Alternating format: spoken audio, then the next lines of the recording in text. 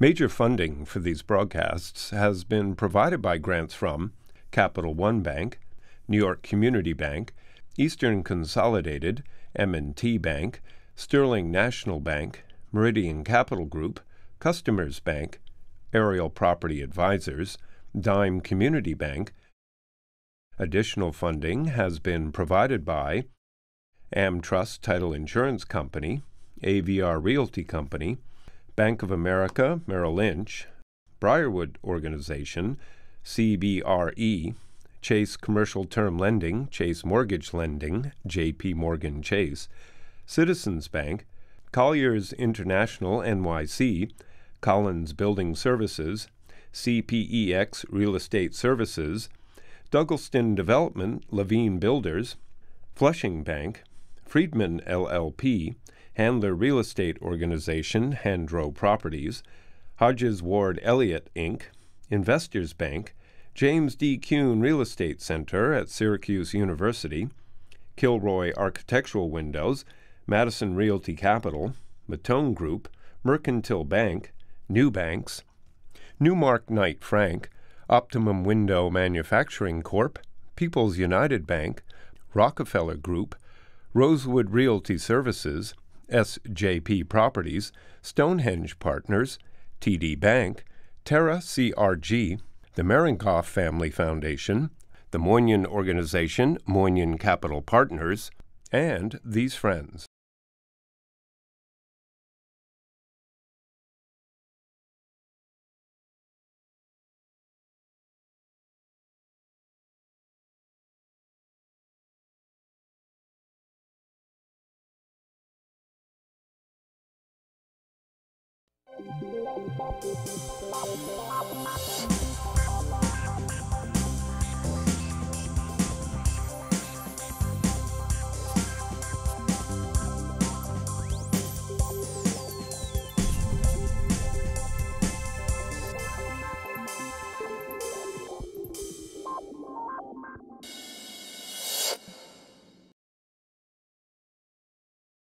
Technology all this money, billions of dollars being invested in technology, especially for real estate. Why are people investing? What are they investing in? So today, with the help of my executive producer, the oldest member in the panel next to me, okay, we have three tech guys who are going to tell themselves what they're doing, and also Mr. Money Behind the Money Bags is going to talk. So I'm going to allow each one to introduce themselves and introduce their company. Sam. Sure. Um, thanks for having us. Um, I'm Sam Bernstein. I'm the co-founder and CEO of a company called LoftSmart. We're the first end-to-end marketplace for all the rental real estate. So we're a marketplace like Kayak or TripAdvisor for um, all the rental real estate in, in student housing markets. And so what end-to-end means is that we have the discovery product where you can come and search and browse local listings and we have tens of thousands of reviews and ratings by prior residents. You can take a VR tour. Um, but we also have a booking product effectively where you can apply sign and pay instantly on the marketplace. So you don't have to work with a broker and you can do the transaction directly on the same platform where you And search. you even have a relationship with somebody where you can get lease security, right? Yeah, that's right. We have a partner called Jetty. Um, they have a product called the Passport Deposit product that allows uh, qualified renters to pay 17.5% of the full value of the security deposit, and they create an insurance contract with the property manager um, you know, for the full value of, of the security deposit. And your age? I'm 23. And how much money have you raised so far? We've raised $5 million. Okay. Next, on uh, the appraisal world. I'm John Meadows. I'm the co-CEO of Bowery Valuation. Um, we are the first ever truly tech-enabled commercial appraisal firm. So we built a technology, I came from the appraisal world, so we built a technology essentially for ourselves, our dream technology for ourselves as appraisers. Um, and we leverage that technology our appraisers use it internally to deliver reports that are higher quality, greater consistency, greater data accuracy at faster delivery times and lower costs to our lending clients. And how long are you in business? Uh, we started in June of 2015. In the order, you are next in age at 29. I am 29, and we've raised a little over $7 million. Next, Mr. Mortgage. The uh, the age thing is a little a little tough from the regression. Don't worry. But, uh, yeah, I don't know if I. If I Could you introduce yourself and tell yes, us a little bit about uh, Mr. Mortgage? Uh, I'm Brian Faux. I'm the CEO and co-founder of Morty. Morty is a digitally native, full service mortgage marketplace. So, what does that mean? A residential mortgage. For residential mortgages, yes. Uh, so digitally native, it's just that. It's uh, it's modern. It's online. It is uh, rooted in technology.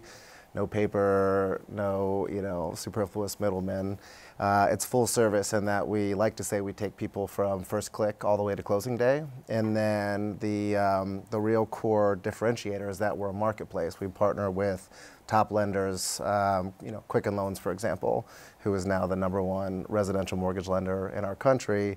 Um, we have 15 different partners, all the best uh, array uh, of products, pricing, so that the consumer gets that combination of full service and the right product uh, that fits them. And your age? You're at 33. I am I am 33, uh, young at heart, but uh, yes. Looks uh, looks 25. I, I I appreciate agree. that. I appreciate A- that. and the old man in the group, you are? Jeffrey Berman from Camber Creek. Uh, we invest in enterprise technology uh, germane to the built world. So that means that anything that touches the built real estate environment and that has a, a potential tech solution to a pain point that everybody in real estate has felt, we will look at investing in. And I am the eldest person in this roundtable, and I'm over 21. And you are 39. Oh, So here's the question How did you create the kayak for dormitories? How Sure. This, how did this come about, Mr. Yelp? Yeah. Um, you know, I started the business when I was a student at the University of Virginia in 2015. Um, the basic premise was to create uh, Yelp for real estate locally, and so a transparent platform where, um, pre, you know, primarily folks could come and not just see what was out there in the market, but also get some information, some you know, intel from folks who had lived there before, in the vein of a TripAdvisor or Yelp or you know other sort of well-established online platforms that have been created uh, for the purpose of, of creating transparency in markets. And so what we did was, you know, we created the platform. We worked really hard to generate a lot of review content on it for local real estate. And then what we did was we ultimately came to property managers and management companies and developers. And what we said was, you know, we've created this community where folks are coming to make decisions about where to live. Um, help us, you know, allow us to help you guys convert some of those prospects, um, not just as eyeballs, but you know, turn those eyeballs into into renters, into tenants of your buildings. So, how do you monetize? How Sure. do you make money? So because we're the first uh, listing platform that actually facilitates the transactions, rather than if you think about like an apartments.com or a Zillow, you know what you would do on those platforms is, is basically submit a lead or an inquiry. Um, you know, you, we take you through the whole process, and so because we actually deliver converted re- you know residents rather than leads, we are able to take a percentage of the full year contract value. Do you have to get licensed in the state? We're not a brokerage, um, nor do we really handle any of the brokerage activities. And so we don't do showings, and um, you, you know we don't perform the traditional functions of a broker. We're actually just a tech platform that connects residents and property managers in that direct. So, who's paying you? The the property owner is paying you. Yes, property owners pay us. Okay. What about the property managers? Um, well, property managers pay us through the property owner. Okay, So yeah, yeah, yeah. Um, yeah, so I, I fell into the appraisal space right out of college, uh, working for your friend Joel Leitner. I uh, always had kind of thoughts of going to law school, then was becoming interested in real estate. And a friend of mine from Penn recruited me at this commercial appraisal firm in New York City, which at the time was the largest independent firm in the city. Um, and I recruited my friend from growing up, six months in, and we worked there together for four years. Um, and I think the best businesses come from need. And for us, it was a very, very personal need. We were spending 12 to 14 hours, five, six days a week appraising every day. Um, and we experienced the, the pain points that we're trying to solve 12 hours every single day. And But how do you decide to go into the business? yeah, so I mean, it took us about a week on the job to realize that the tools that we had to produce these reports, which are you know 100, 150 pages long, um, were highly antiquated, essentially designed and stuck somewhere between 1985 and 1995. And come 2015, when we'd built up enough expertise in the space, um, and we started really looking under the hood and seeing that not just our independent firm, but the largest appraisal firms in the world were using the same technology that we had internally, you know, Word and Excel documents, using a past template from an old report. Um, and so when we started really seeing that there was absolutely no technological solution out there, we felt like we were in a position to build that. We had the expertise built up. Um, met our third co-founder, who was our year at Princeton, uh, you know, really talented engineer. So you're an appraiser. Yep, Your other partner. an appraiser, co-CEO. So we are not MAIs. Um, we have four state licensed appraisers and two MAIs. on What's our your staff. third partner?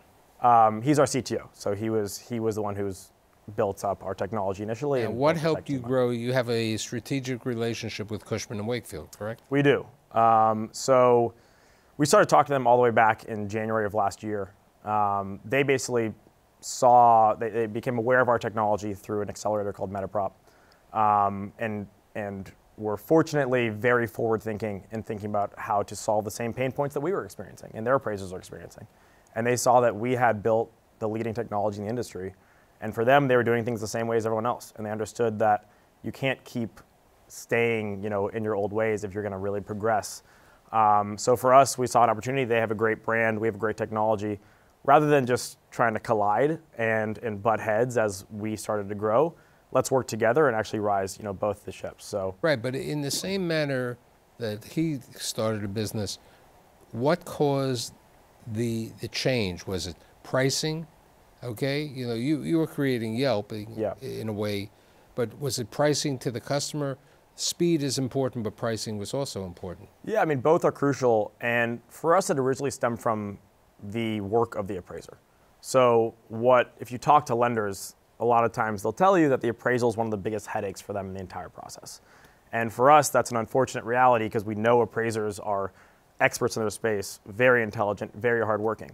So, to have that gap, clearly there's an issue with the tools the appraisers have to produce these reports. But he, here's the question: he, he's Yeah. in the dormitory business, okay? You know, in, in the apartment business for for mostly college students and so on. Appraisal, there's a different type of appraisal product.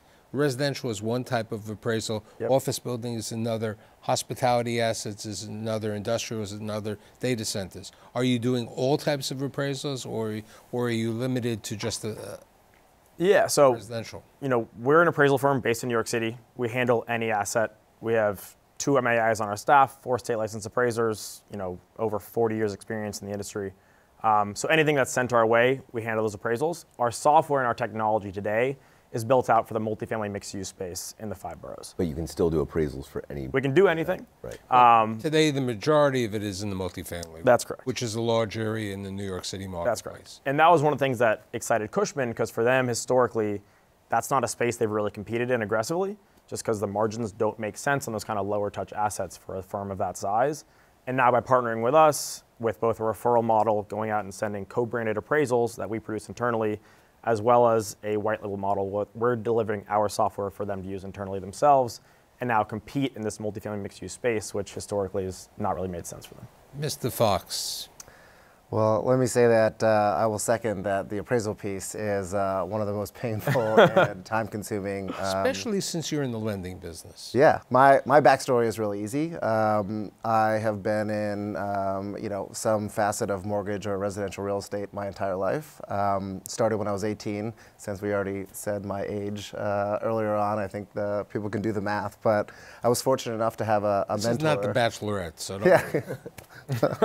okay, good. To, keep that in mind. Um, I was fortunate enough to have a, a mentor who uh, was nice enough to, you know, take me along, and he was going places. He ran residential at Freddie Mac, lending at Wells Fargo, um, all the way up into uh, the housing crisis, where he was appointed federal housing commissioner. So. You know, being um, inside the government, uh, you know, trying to help people uh, from uh, anything from, you know, not losing their homes or, you know, reducing principal, everything uh, borrower, um, you know, kind of advocacy related. You kind of, you know, you really realize who does what in this industry, um, you know, how it's built, how it functions. And so uh, after three years there, I went back into the business and I was just so like unimpassioned by anything. And I left and I didn't know if I was going to ever get back into the business. And uh, I met my co-founders and I didn't know anything about technology. I don't know anything about startups. Like it was basically like stuff I saw on TV shows. And, and like the three of us as a team formed that kind of, you know, perfect combination of technology. So what's your specialty and what is their specialty? So uh, you know, you can uh, minimize my specialty to like I'm the mortgage guy. Like I, uh, you know, I called you uh, Mr. Mortgage. yeah, and I and I'm fine with that. Look, um, there's a lot more to the sausage making of mortgages than, than people know. But the other thing is that if you want to actually improve the process, if you want to own the consumer experience, you got to get licensed. You have to be an originator.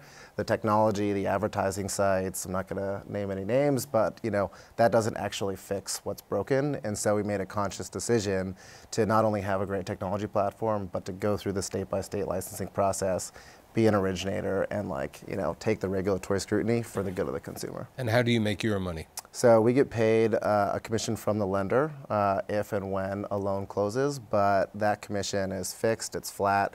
We are completely unbiased as to which lender, which product. Um, no attribute of the loan matters to us, so it's really up to the borrower to you know use our tools and, and our guidance to find the right mortgage for them. And who's your competitors? You know, uh, I go back and forth on this. I, I, think it's a little bit cheesy to say we have no natural competitors, but when we started Morty, um, you know, we didn't want to get into a, a $10.4 trillion industry tackling uh, Wells Fargo and Quicken head on. So we found a way to build a platform that shares in the economics, plays nice with incumbents. As I mentioned, you know, Quicken is our, our number one partner. Um, you know, they're great. They look at Morty as an acquisition channel, as a source of really high quality, high performing. Um, I'll give you a good example. In, in your business over there, New York Community Bank, who's one of the major multifamily lenders, they they pay they want the broker to get paid as opposed to them earning a fee because they're they're very interested in the originator, which you are.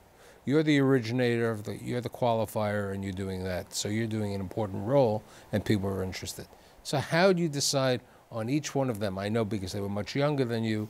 How do you decide to be active and look at these three businesses? So for LoftSmart and Morty, those were angel investments that I made prior to Camber Creek. For uh, my viewers, I know what an angel investor is. Explain what an angel so investor is. So an angel investor is an early investor um, in a company where you find some sort of promise. And I think at you at, with Morty, you guys hadn't launched yet, correct? Uh, that's correct. Right, and I think that's also the same with LoftSmart. I think you were just at the beginning stages.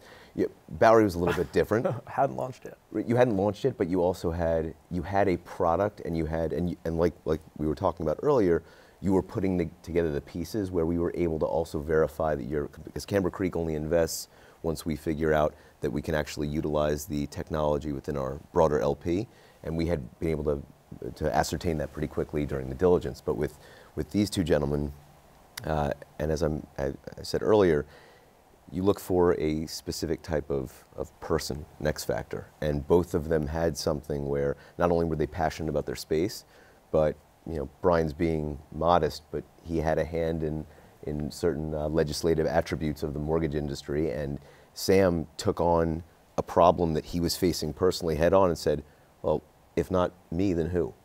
And so, and you, when you were at Virginia, you had this problem that you needed to find a room. Yeah, when I was a first year at the University of Virginia, um, back in 2013, I guess it would have been. Um, you know, about a month into school, walked into a storefront property management office in Charlottesville, Virginia, and signed a lease on pen and paper, and brought in a cashier's check for the deposit. They photo, or they you know they scanned my ID in order to run sort of a manual background check. Um, and you know, fast forward a year, we moved into that apartment and we're sitting there and you know, eating dinner the first night, all of a sudden the entire place starts to shake like an earthquake. And lo and behold, you know, hidden behind this park next to our apartment is, is a freight rail. And it goes by five, six times a day. None of us you really. If, if you grew up in the Bronx or certain yeah. parts of Brooklyn, it would be the subway. Though. Yeah. Same as the freight rail. Right, but the fact sure. that he couldn't, that he didn't know that to begin with, you know, and I and I thought to myself, how could this have been prevented, perhaps? And I think the answer that I sort of honed in on, thinking about my use of other platforms like Yelp, like TripAdvisor, was if I had read just one review from a prior resident of that apartment who had said, you know, the train is kind of a bummer.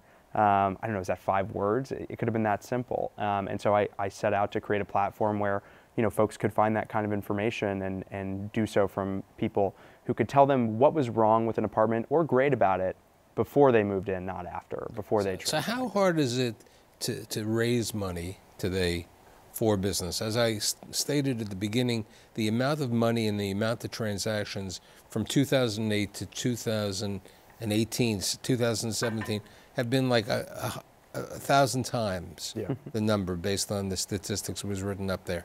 How difficult is it? Because you know a lot of people have a good idea, but a good idea doesn't mean it's going to turn into a business or a model that works.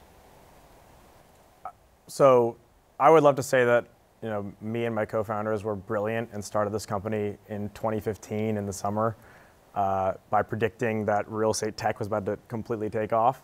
Um, for us, that was you know largely good fortune. We saw an opportunity in the space and felt I we needed to solve it. Luck. The uh, the It- L factor exactly. is very it's, important. It's also. crucial. Um, and so I think all of us have been fortunate to come along at a time when real estate tech is starting to garner such tremendous amount of interest in the venture community, and, and Jeff can speak to that. But I think I, raising money is hard. I don't care what anyone says, it is difficult. But there are a lot of sources of funding available, and specifically, just like John alluded to, that real estate tech is starting to have its moment in, in the sun. The issue is when, from a VC perspective, is the idea good?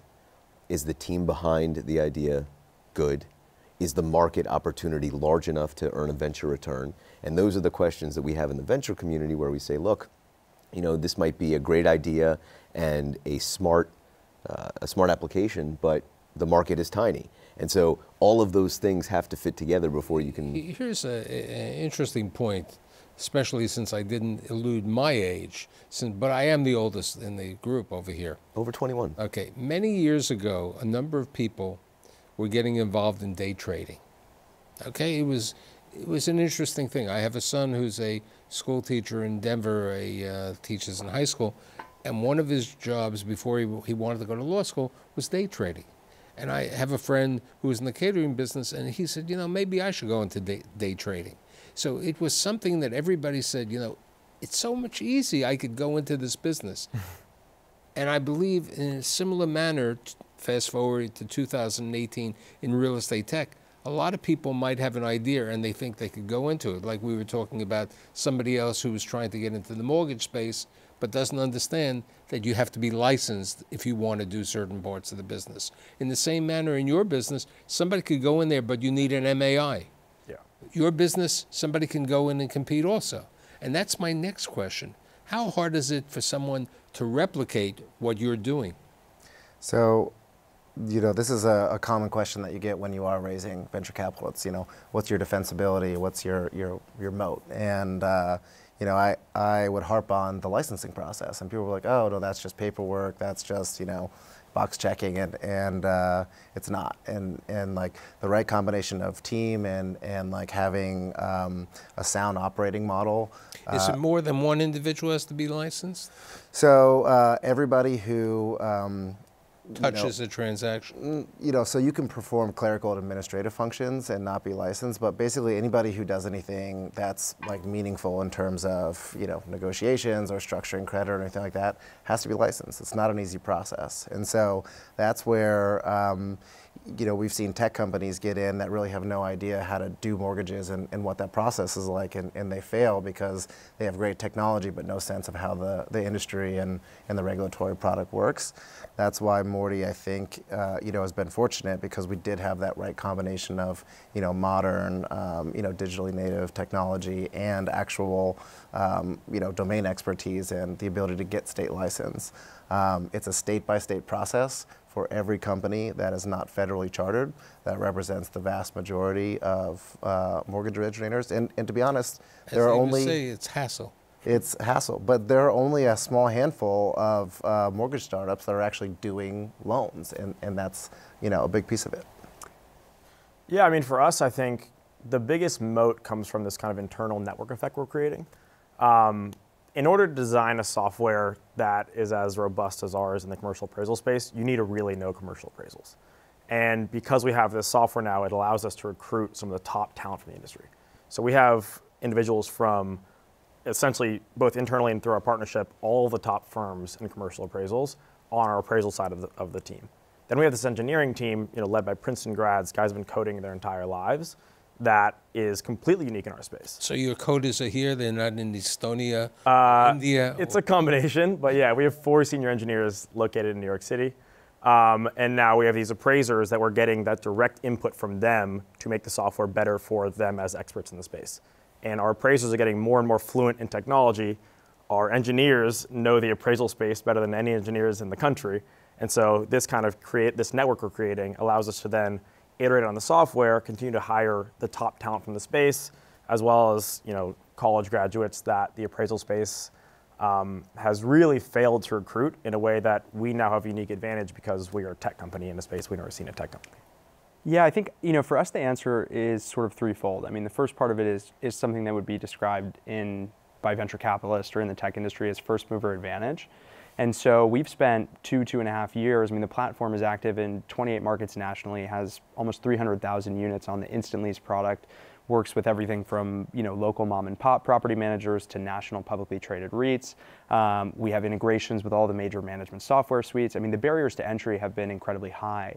Um, and so, you know, we've spent two, two and a half years kind of breaking those down, building the right relationships, building product, acquiring customers, building brand. Um, and so that's that's a pretty big head start for anyone that wanted to jump into the space. I mean, truly. And then I think that sort of leads me into the second point, which is actually having the right strategic partners around us. And so, um, you know, we've done this with folks that we put on the board of advisors. You know, Jeff is on the board of advisors, but you know, in the in the capital structure and in the folks we've raised, you know, investment from, we have strategic partners. You know, like Jeff, who's didn't invest through Camber Creek, but we kind of have access to his relationships and network. You know, we have the VC arm of Sterling Equities, which is the Wilpon family company, Corigin Ventures, um, Metaprop, which is an investor in, in all three of us, um, which is exclusively really, you know, real estate focused and backed by companies like Zillow. Um, and so those kinds of partners have allowed us to have the right Rolodex in the aggregate to, to kind of build those relationships in a way that I think it would be very difficult for another company to get in front of the right W- people. One last question. Are you profitable? No. No. How long is the normal life cycle for a company to be profitable? Well, that, that cycle can vary depending on, I mean, if you can ask that question of Amazon. No, no, I, no, I, I'm just saying in the tech space, in the real estate tech. It really, it really depends because whether they're doing the land and expand and trying to, trying to cover the maximum amount of space to shut everybody out and then they can turn that profitability engine on like Amazon or whether the unit economics are focused on, okay, well, once you get to a number of, of mortgages or a number of appraisals, et cetera, then they'll be, then they'll be profitable. Okay, so all I could say is I am so happy that my executive producer, Jeff, brought his buddies and great guys. And Sam, thank you. John, thank you. And Brian, even though you are that old, thank you.